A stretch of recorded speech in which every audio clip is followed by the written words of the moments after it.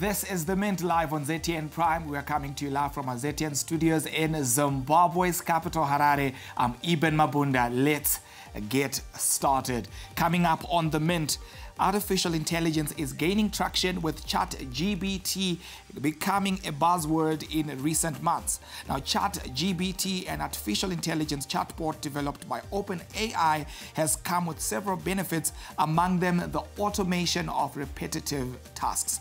Question is, are there any downsides?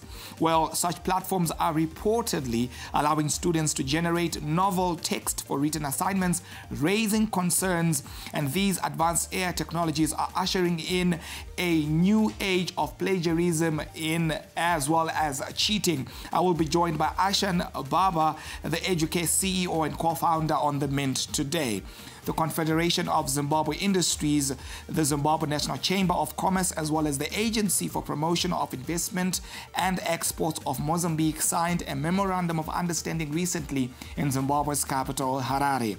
Now, Mozambique's uh, recent visiting trade delegation to Zimbabwe says its vast arable land presents an opportunity for skilled Zimbabweans with expertise in agriculture. The African Continental Free Trade Area set in motion in January of 2021 seeks to unlock a 3.5 trillion US dollar market from 54 member countries. What value can be unlocked by Zimbabwean companies and what can be done to tap into this market? As well. How can they leverage opportunities presented? That of course speaks to the companies. And of course the ugandan manufacturers have described as a daunting nightmare the poor state of transport infrastructure connecting to the continental markets, listing as a leading bottleneck blocking Uganda's ability to leverage the African Continental Free Trade Area market opportunities. This is according to Uganda's PML uh, Daily. Time to take a breather. When we come back, we get into our conversation with our guest. The Mint to be right back. Don't go anywhere.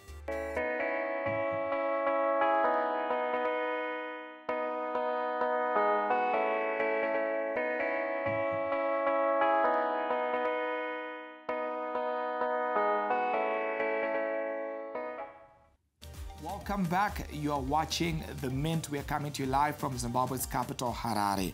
Now, artificial intelligence is gaining traction with ChatGPT becoming a buzzword in recent months.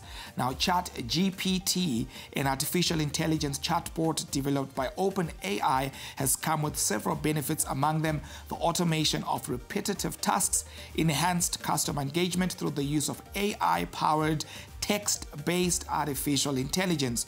Through the use of natural language processing algorithms, it recognizes and responds to rudimentary questions accurately. Are there any downsides?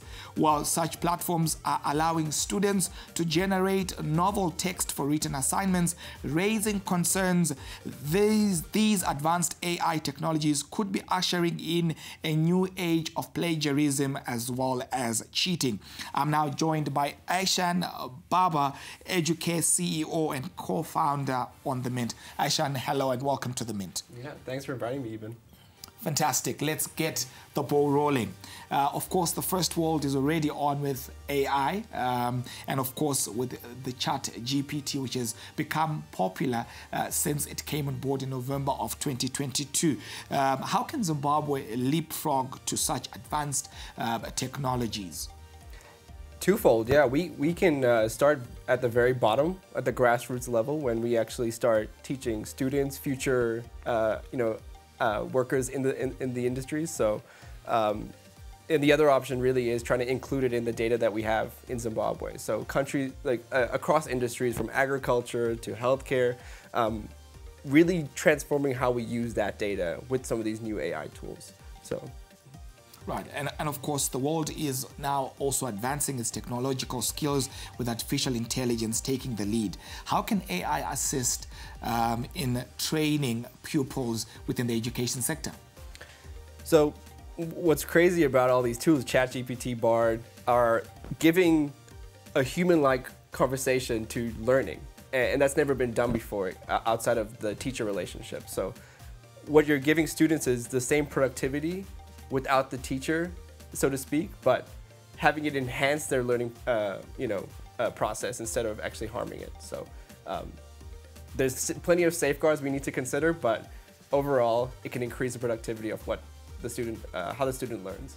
Yeah, because I mean, everything has been moving so fast. Um, different forms of technologies that are coming. Um, you've got the metaverse and uh, the virtual reality world that has actually come onto the scenes, um, which could uh, produce some results in actually enhancing the education um, of students that we have, um, of course, across the world. But then, of course, the question would be um, is artificial intelligence good or bad, um, especially where education is actually concerned? Mm-hmm. Yeah, so I, I hear a lot of concerns from teachers actually when we talk about having a student just plug in their homework and get the assignments. You, you can imagine how how hard it is to tell whether a student has even gone into, has done the assignment or learned the material. So, like you said, there, while this is a great tool and very productive, there are plenty of safeguards we, we can implement. So, um, yeah, we, we. Let, us talk about some of those. Mm -hmm. Let's yeah. talk about some of those. We just want to perhaps shed light in terms of how it is that this technology can be embraced mm-hmm. um, and uh, at the same time pro- providing a solution, um, but uh, also some of the checks and balances that would need to be in place to ensure that there is delivery at the end of the day. Yeah. So, starting on the student side, um, having the simple uh, homework helper we gave the example of, you know, I have an assignment that I need to complete. Um, what does ChatGPT or Bard say? And having all of that uh, written out for you is scary for the teachers. So what, what, what they can do is now like use that as a template. And, and, and there's a lot of education about how students can use these tools in the proper way. Um, but, but on the teacher side, it's that like, can there be a relationship between the two about making sure that you're not copying and pasting, but really building off those materials. So, um, you know, the student has access to actually understand textbooks and learning materials better. Um, being able to not just go through a 500 page textbook, but actually inspect about specific questions I can ask a teacher, right? And go to those sentences in the books, ask it to rephrase or give examples that really get all the juice out of those textbooks and learning materials uh, alike fascinating and you know also there would be some pitfalls to take note of. Let's talk about um, this um, perception or this argument that says that most of the academic uh, programs that we have um, are more academic and lack uh, some degree of practicality. Could uh, you know the artificial intelligence revolution prove to be the gap that closes, um, you know, that particular uh, gulf that you find in that regard. Absolutely, and really it starts with data, right? Like if employer, like in the real world, there's lots of data being happening across industries, right? Healthcare, agriculture, um, you know, having students get access to that with all this learning material with AI, you can see quite a tremendous results. We, we, we hosted as, a, as Educare a hackathon at Arundel School where we gave them one and a half days to learn deep learning material with, you know, that usually require master level theses uh, to complete. And, and really like that, that technology actually helps them leapfrog, you know, all these different uh, barriers that they once had. So, um, yeah. Question then would be, where do we draw the line uh, mm. between the role that um, artificial intelligence could and should play uh, with its advent vis-a-vis the, the role that the teachers and the schooling system would have to play? Mm-hmm. Well, yeah, so that, that's twofold, right? You mentioned the teachers now because, so coming back to what, what we, the learning materials are really uh, give the students and the teachers is that they have a basic curriculum to follow. So um, with, with, with teachers, they can leverage the technology to, build lesson plans, to, to generate assessments, and really customize to students' needs. So, um, you know, with these tools, right, like there's a lot of safeguards to protect the student and teacher alike. But again, we want to encourage the productivity of these tools. We don't want to like say, okay, ban ChatGPT, ban Bard from schools. That's that's not what we want to do. We we don't want to like say no to new new technologies, but embrace it in, in ways that are safe for, for both students and teachers. Ashan, uh, tell us about um, you know your own platform, um, the Educare, and how AI uh, can actually be used to improve the education process. Mm -hmm. Yeah, so uh, with students, it's a little bit more obvious. Uh, with uh, having some sort of 24/7 off like helpline of like, oh wow, I don't have access to my teacher in this class, but now I can ask the educator about my materials, about my assignments, about how to approach problems or think about it in different ways. Um, I can, like I mentioned, about really get the most out of learning materials, understand where I need help, understand where I can find information. Um, and with the teachers, it, it's really using that same base of those learning materials to customize those lesson plans, like I was just saying, build those assessments that are target, oh, this student needs trigonometry help in math. And a subset of these students really struggle with these kinds of problems that we can kind of double down into when we do have class. Um, so teachers, again, right, like we also want to protect them uh, with like kind of the plagiarism tools as well to see that, okay, are students using this tool in a responsible way? And then can we actually measure that and see that um, on the teacher end? So it, it's a multi, uh, it's a two-folded process where we're trying to bridge the gap and really be that central part of uh, educating. Um. And of course, on your website, you mentioned that a good 72% of teachers spend more than 15 hours per week on lesson planning, mm and two in three of the teachers say that they spend more than an hour per week generating custom assignment questions. Question is, how can AI eliminate uh, that so that teachers become more productive? Right. So it's having those tools built on top of those learning materials. So, so as we said, like we want to demystify how hard building a lesson plan is or generating assessments. So we want to actually like leverage the backbone of where the teachers get their initial information from um, off the learning materials, but then actually create some sort of clickable interface, right? A software that can allow them to build the plan, but then also customize it using some sort of conversational um, as well, making reference to your own stats. Um, according to your data, 62% of teachers say that detecting if a student used AI to plagiarize an assignment is a major challenge to their job. How then can AI and your application assist in detecting you know, some of these challenges? Right, so we talked about the teachers having some sort of tool to detect this, step one. Step two is that like, it's about learning, letting the students know how to use these tools. So even if you detect, oh wow, this is 93% plagiarized from, from ChatGPT, how do you educate the student in, in actually using that tool better? Guide them through how we should learn about the process, how we should approach assignments.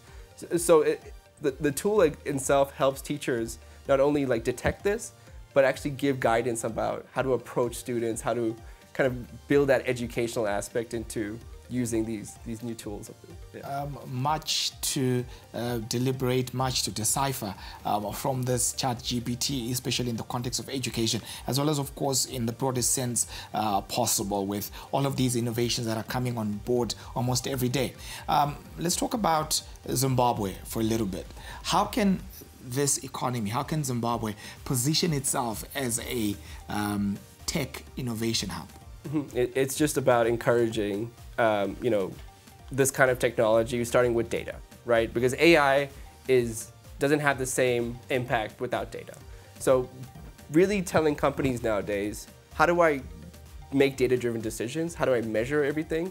And then really plugging in the grassroots to create a talent pool where this new generation will plug into and, and take, the, take that data and really find ways to forecast, eliminate resources that are, you know, unneeded, but actually build on top of current technologies to, to, to really push forward, you know, industries of all kinds. So. Lastly, in mm -hmm. 30 seconds, tell us how Zimbabwe can uh, position itself as a, a hub that actually in, invites and attracts foreign direct investment, especially where startup funding is concerned. Absolutely. Um, so it starts with, like I said, like these startups having relevancy in, in today's world, right? So having adapted to the AI era, there's going to be a flurry of different companies, including Educare, um, that can try to position itself with these new technologies. So having that startup culture, not only in Zimbabwe, but throughout Africa, um, to support these new initiatives because this is a global you know, revolution that, that's going to happen in the next year or so.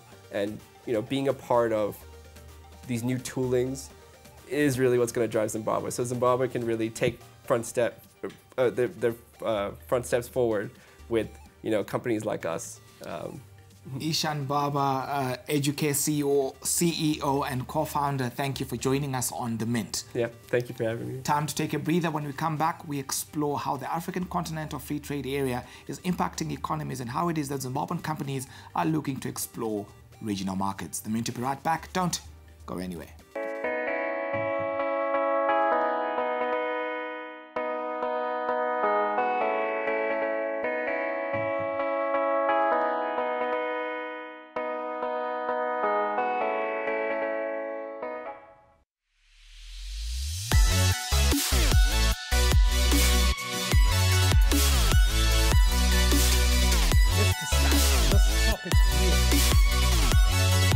World's most beautiful game.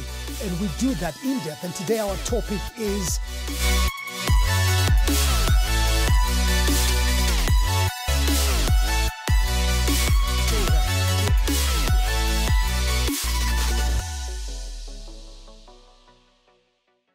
DJ on the move is for all board. Chi chi chi baba mwisechi live pa ZTN Prime TV yevanhu eh, padagu inonaka eh, yevanhu kukwira kutsoka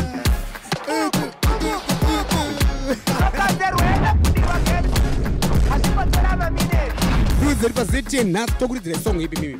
Mambo titereri matinotangira kutsoka manyowa. Shakata yes. Bolato bolato makainzwa kupi koko neni ah.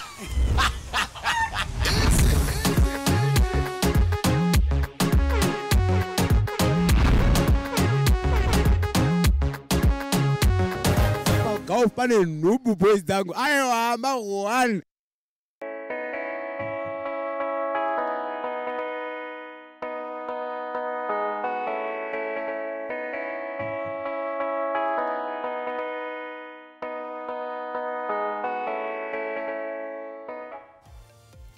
Welcome back. You're watching The Mint. We're coming to you live from Zimbabwe's capital, Harare. I'm Eben Mabunda.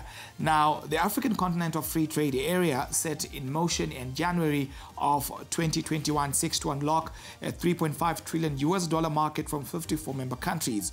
Question is, what value can be unlocked by Zimbabwean companies and what can be done to tap into this market? As well. How can Zimbabwean companies leverage the opportunities presented by this new trading bloc?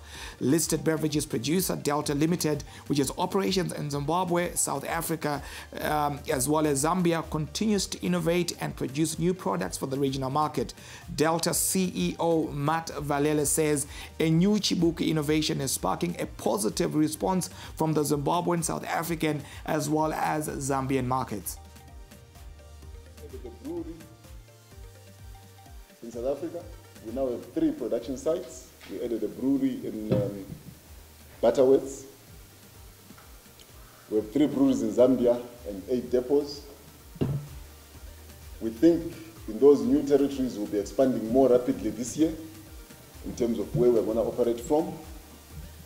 So while you see those, you probably will find that next year we'll have had a little bit more distribution facilities and more ambitions to putting up plants in growth areas. We continue on the renovation and innovation drive in our brand spaces. We launched a brand in the beer space, brand Seibu. Chibuku Super Banana and Scud, while not a new innovation for Scud in Zimbabwe, is new in South Africa and in Zambia. And Chibuku Super Banana is a brand new innovation that has taken Zambia by storm. We have not supplied enough of it in Zimbabwe, so it's not been tested, but we are producing it for Zambia and indeed supplying it into South Africa. With this new line, we will then know whether Zimbabwe can absorb that and enjoy it as much as our foreign entities seem to be selling.